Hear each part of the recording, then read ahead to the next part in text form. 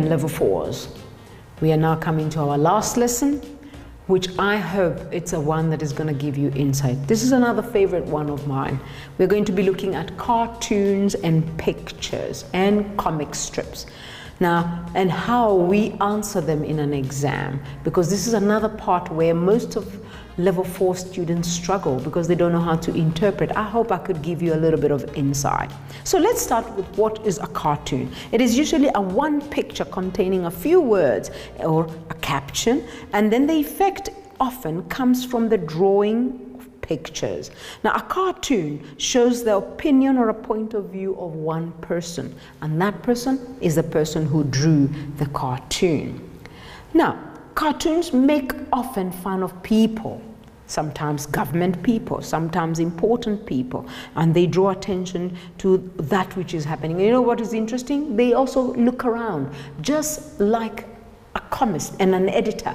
They look around and find humor in everything that they see, and then they'll draw a picture of that. And you find that there's one very famous one in South Africa called Zapiro. Zapiro is actually writing very interesting ones, but no one questions him. But he likes targeting the government and political people. But anyway, back to comic strips. Comic strips are also very informative. Even those cartoons, just because they're making fun, we learn a few things from them. So if you look at a comic strip, which is a series of pictures drawn in little boxes called frames, that is why when they ask you questions, they tell you, look at frame one, look at frame two, look at frame three, and so forth, because there's a sequence of the way they tell a story. So the story is told mainly in pictures and a few words, and then the words are usually those that are spoken by the character. Sometimes you'll find thoughts of the characters where you'll find there's a whole caption and a little bit of bubbles inside of it. I hope I can share a few.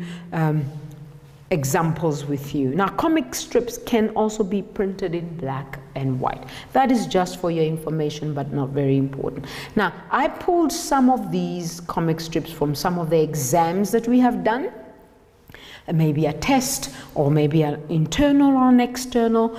These are just from our college. I would like to kindly ask you the first thing I tell students to do is to really study the comic strip. Each frame has something that is telling you. Besides you knowing about the person who has written it, this comic strip is titled Multitasking. Now, what you do before you read, just look at the picture. Then you also look at the body language. You look at the facial expressions. You look at anything that is added. Is the mouth flat or is it droopy? Look at the gentleman for starters. Then you go to the second frame and see what is different from frame one. What is happening there? If you look at this one, Maybe you can read it, maybe not so clearly. I would read it with you. The gentleman looks puzzled. His eyes look a little bit big and he's got his hand or his finger on his chin and he says, The boss says I'm not multitasking enough. There's an exclamation mark there. When you see an exclamation mark, it means he's really frustrated. Don't know why he feels that way.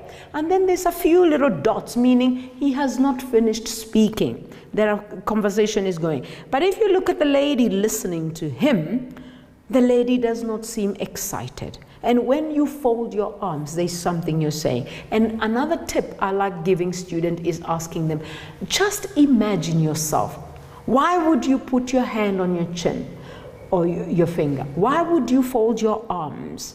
All those are things that we should know that the comic strip is also trying. Now let's look at his office. I can see the dustbin is full. There are about three dustbins that are full of paper. If you look at the present table they're standing by, there are lots of papers as well. That is very interesting. Let's look at the second frame. In the second frame, he continues speaking, but now his arms are out there open. I have Facebook, MySpace, Twitter, Yahoo, Gmail, and Google Reader. Oh, and Google Reader open. Sorry, I'm going to try and read that again. I have Facebook, MySpace, Twitter, Yahoo, Gmail, and Google Reader open while I work, and yet he thinks I don't multitask. And there's another exclamation mark. Now, I want you to look at the lady's eyes. Go to the first frame. Her eyes are almost leveled with him. But if you look at the second frame, her eyes, the black spot is rolled up. And then we've got this bubble on her where there are little rounds there with plenty of exclamation marks. That means something. So everything that is happening here means something. Her mouth has not moved except for her eyes. But then we've got added. But if you look at the man, his eyes, arms are out, his mouth is open. Now that we know what is going on there, we have got the idea. It's all about multitasking and it is about the gentleman and multitasking. We can go now to the questions. The first questions. If you look at frame one, it denotes that the man is either worried, confused, concerned, or shocked.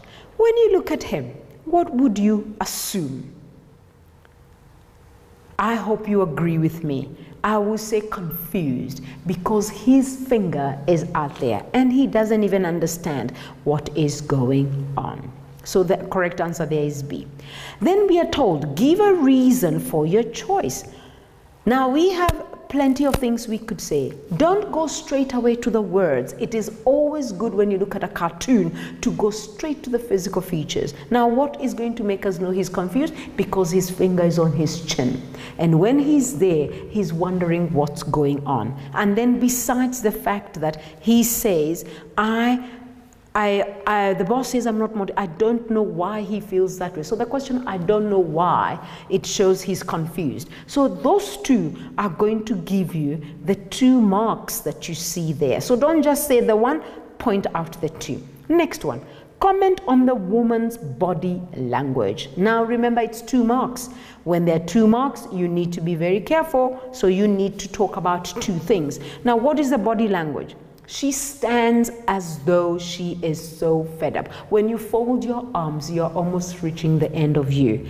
You, the reason you would fold your arms is because you've got lots of questions. So that is the one with the body language. Then let's look at where she's standing. She doesn't seem like she's moving. She doesn't even seem like she's listening, especially when you fold your arms like that. Do you think she's listening? So, two things we could say. She doesn't believe what the man is saying, and actually seems like she's agreeing with the boss. That's the reason she would fold her arms and just look straight at him. Let's look at the next one. Explain the humor in frame two. Now, the humor in frame two will come from the writing that is there. I have Facebook, MySpace, Twitter, Yahoo, and all and all. And yet he thinks I don't multitask. What is the true meaning of multitasking? Is being able to do so many things at the same time. But clearly, if you are Googling, if you are on Facebook, if you are on GTalk, are you multitasking? No, you're doing your social work. So that really is the humor part of it. That all these things he mentions are all social things. They're not even supposed to be at work. And what does the boss expect him to do? Clear his desk for starters, arrange the papers, empty the bins, be on his computer typing, and the list can go on. Let's look at the next one. What is the implicit message the boss is trying to send to the man? Remember what we talked about implicit. It is a meaning that you have to figure out. And clearly, when we look at this man, he's trying to figure out what the boss is trying to say. So the boss is saying, I'm not multitasking. The boss is trying to tell him, Mister, your desk is untidy. Your bins are full. You are not even doing the work I expect you to do. That is what he means by multitasking. But you can see the man is so confused, he does not even understand what the man is saying. So the implicit thing that the boss is trying to say is I would like to see you do your work and a little bit of cleaning of your office will be also very good. Don't sit in a dirty environment. Clean it up. I don't think there's anybody who likes sitting in a dirty environment. So why would you not clean up after yourself? Moving along because we have quite something to say. Let's look at the next one. What is the stereotype about the men, about men that is being reinforced here? I hope you realize by now that some of the words we were looking at in the previous lessons are coming back. Multimedia like stereotyping. So what do you think is the stereotyping here when we talk about this man and multitasking? We all know many men are not good at multitasking. But that is generalizing. That is stereotyping. So, this is just one of it. So, the stereotype that is mentioned here is that we are making judgments that all men can never multitask. So let's go to the next question. Sorry about moving, but I, I hope this will help you uh, understand and learn how to answer. Do you think that this is true about men? And then we explain our answer. First of all, by us just saying, is it true or not, we get one mark. Then the explaining, we can continue. And I mentioned a few. It might not be true for all men, so that's actually generalizing because we have men who look after households while the women are working. What does that mean? This kind of men are able to multitask. So but then that is one sided. Some of you might say, yes, it is true about men. Men are not known how to uh, multitask. They can never do this and the other at the same time. Remember, this kind of questions, it is definitely now, this is where the opinion comes, your own opinion. No one is going to judge you, but you will be judged by how well you support your answer, whether you say yes or you say no. Let's go to the next one. Number eight. In frame two, what is the lady's reaction? Why do you think she reacted in this manner? So when we look at her, we can clearly see. First of all, we look at the bubbles in her. What is she? And then the eyes are rolled back. What do we say? Her reaction is showing that she does not even understand what that man is saying. She cannot even believe that the man would be talking or equating Facebook and MySpace in the same notion. She is wondering. That's why she's got exclamation marks. When you put exclamation marks, what do they mean? You are shocked. You are confused. But confused is not the best one. It is more shocked you cannot even believe what the person is trying to say. I had another word in mind, but I lost it. But anyway, we'll carry on. But most of it, surprised. You are so surprised. You are so shocked that this man would look at my face uh, Facebook and MySpace and Twitter as multitasking. And then maybe she's also reacting like that because she looks at the office. She finds bins are full. By the time you get three bins full, it shows you're not actually working. So that is why she has that kind of reaction. Let's go to the last two so that we finish. Observe the man's body language in frame two. What three distinct features do you notice? Remember, body language. That is very important because most of you do not understand the difference between facial and body. Now we're going to be looking at his whole body and what he has done. Then we look for three distinct things that he's doing. So, body language. We have one, his arms are out that way. We have his eyes now are so big you can actually see they're rolled back. His mouth is also open meaning he is really lost and confused. Those are the three distinct. If you compare in frame one and two, the eyes are a little bit smaller, but in frame two, the eyes are big. If you look at the mouth was not opened in frame one, but in frame two, it's opened. Where was the hand? The hand was in his chin, but now the hand is out. That is how you find all those. And when they talk of body, you look at the whole body, not just the face. Finally, in closing, they ask us, Do you think he will understand what is expected of him? Again, this is an opinionated answer. So, whatever you say, so long as it is in line with what they, do you think he will get it? Some of you might say, Yeah, he will get it because probably the lady is going to explain. Some of you might say, No, never. I don't think this man will ever get it. So, this is a question that I would like to look at. Never be afraid to air your opinion as long as you stay within the subject line. What is our subject line? The cartoon. And what is the cartoon talking about?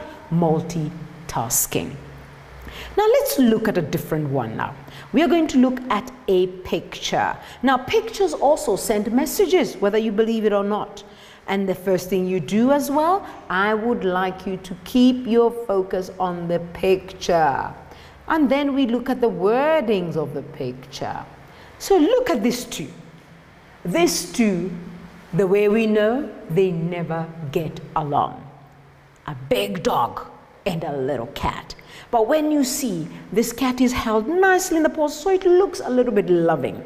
And then the cat looks like it's talking. So everything makes sense. You must be very observant. Remember what we said? Critical. Critical in everything that we see and everything that we read. Then it goes, okay, Ralph, let me explain it uh, you again. You are big, I am little. But you're a dog, I am a cat. That makes me the boss. Got it? Now look at all these words. When we look at but, there are so many exclamation marks. And then there's a little bit of the wording that does not even make sense there. Instead of saying explain, they say let me explain it to you again. So, and then if you look at the got it, question marks are two. So everything means sense. Now, if you look at this scenario, is it a real scenario in the real world? Most of the times we know they chase each other. The cat is always playing tricks and playing chase me, get me. The dog is always feeling the boss because he's huge, he's powerful. But in most cases, we choose to differ. And in some homes, you will find that the cat and the dog, they work together very nicely. Now let's try and answer these questions now that we have our thing. This is a different way of answering questions as well. Now the first question reads, read the caption below the picture and then why do you think the cat is saying these words? He is the boss. Is he warning? Is he scared? Is he joking? Is he playing? Now, in the real world, you must try and equate. If you look at him there, he knows he's tightly squashed in between those paws. If you look at his fur at the back of his neck, it is raised a little bit. That just shows you that how scared he is. So let me just highlight that for you so that you can see it. Look at it here. That fur is raised up. That just tells you the cat is panicking. He is in a stress mode. But for him to be able to look like he's not scared, he wants to be the boss. So the dog, if you look at the dog as well, the dog is just looking at him and thinking, really? Do you think you are the boss? Let's go to the next question and see what it asks. What is the stereotype of the animals shown as shown in the picture? The stereotype here about these animals is that the dogs are the masters of the cats. And I think that is why the cat is saying that. He's telling Ralph the dog, listen, everybody knows you're the master. Everybody knows we must fear you. But here, me, I don't fear you. So he's trying to make a statement by making him see. And even if you look at his paw raised, and the dog is looking at him as well, thinking, clearly, sir, we are always the boss. But sometimes you will find that there are some cats that are more powerful, feared by the dogs. I know that from my sister's um, cat. It's quite a commander. Let's look at the next question. Look at the two animals. Who seems to be the real boss? and support your answer. Now, you will get three marks there. One for stating who looks to be the boss. From where I'm standing, and I hope you're also seeing that, I think the dog looks like he's the boss here. Why would he be the boss? He's got the cat in the middle, in between his paws. And if you look at the scenario, I don't think the cat will be able to free himself very easily unless he tricks him. I suppose that is why he's talking to him. The other thing is the cat knows that. He knows that the dog is the boss at this point in time because he's caged by him. So what is he trying to do? He's trying to talk him out so that he may loosen up the grip and then run. So how would you answer? The dog is in control. But why is he in control? Because he has the cat in the paws of his hand. I mean, by the paws. And then the other side of it, the cat realizes that. That is why his fur is actually lifted up. And that is why probably he's trying to talk him out so that he may loosen up the grip and he's able to run.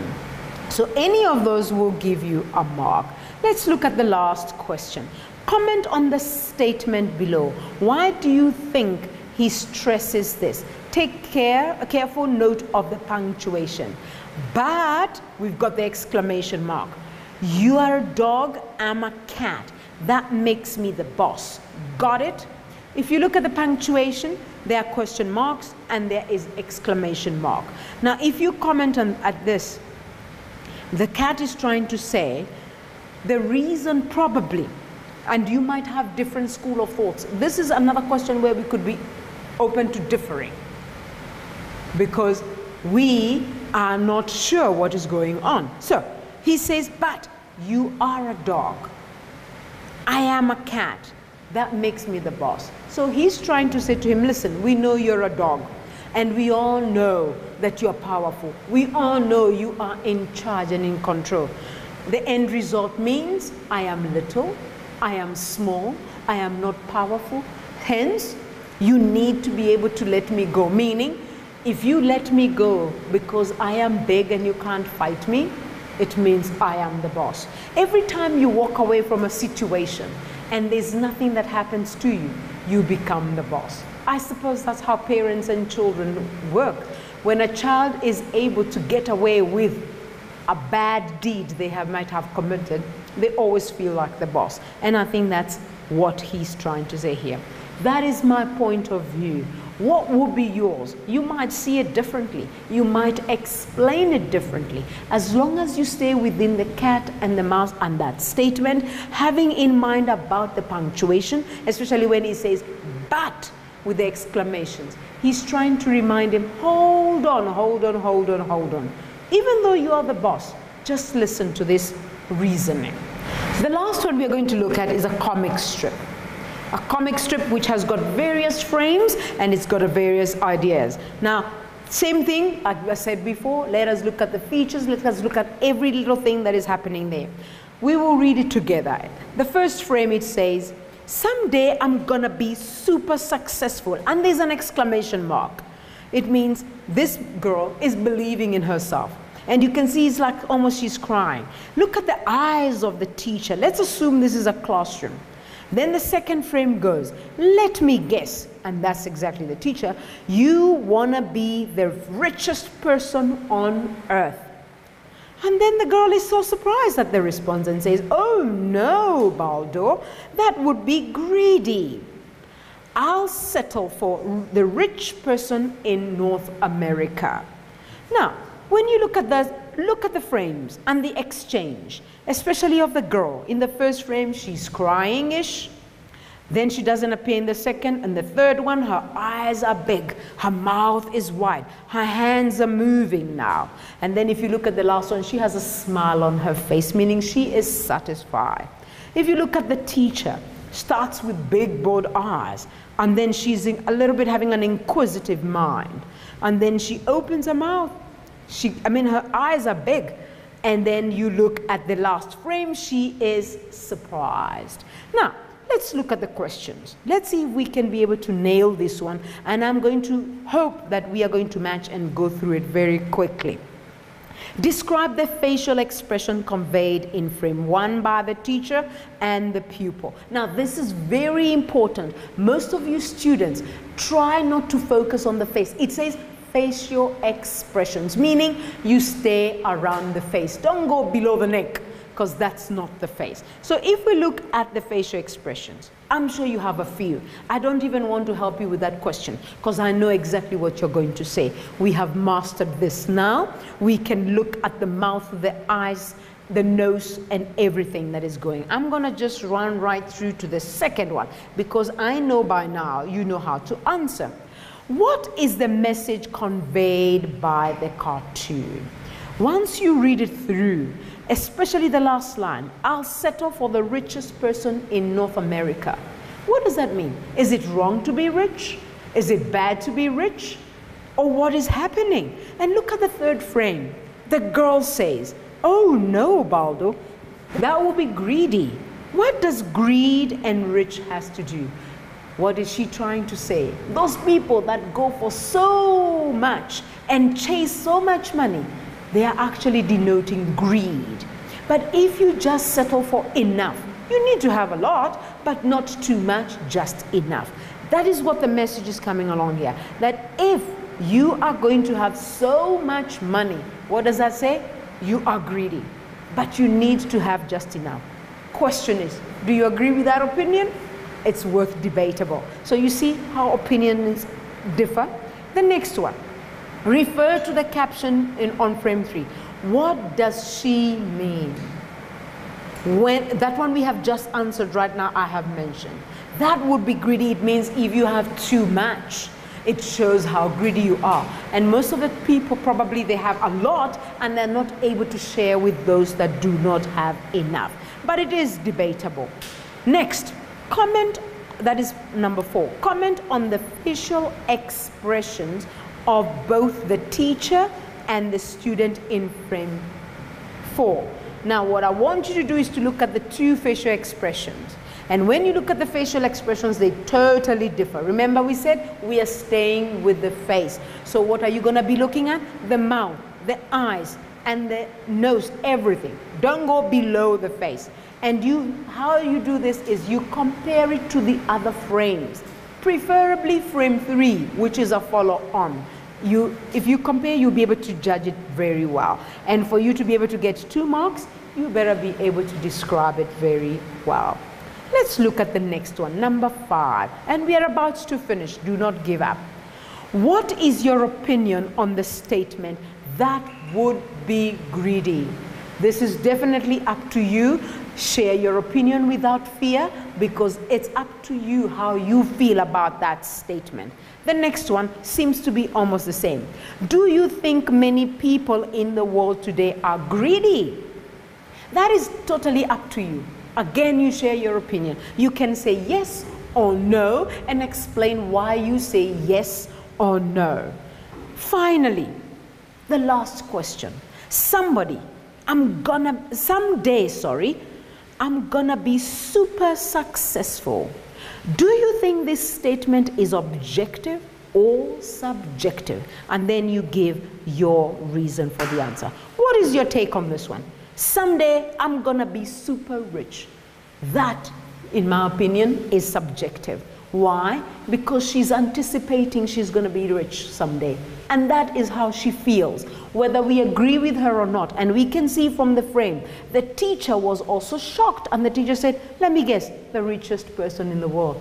What does that mean? She did not agree with her opinion or decision. So I hope I have been able to share a few of the lessons that you will be able to be comfortable when it comes to answering the question at the end of the year. We did a bit of paper one, we did a little bit of paper two, and some of it is assignment two, hoping that you will be prepared. If you have any questions, any at all, please do look at the screen, at the information on the screen, and feel free to ask those questions. We shall be more than welcome to answer those questions for you. I hope you learned a lot. I hope to hear from you. From me is goodbye.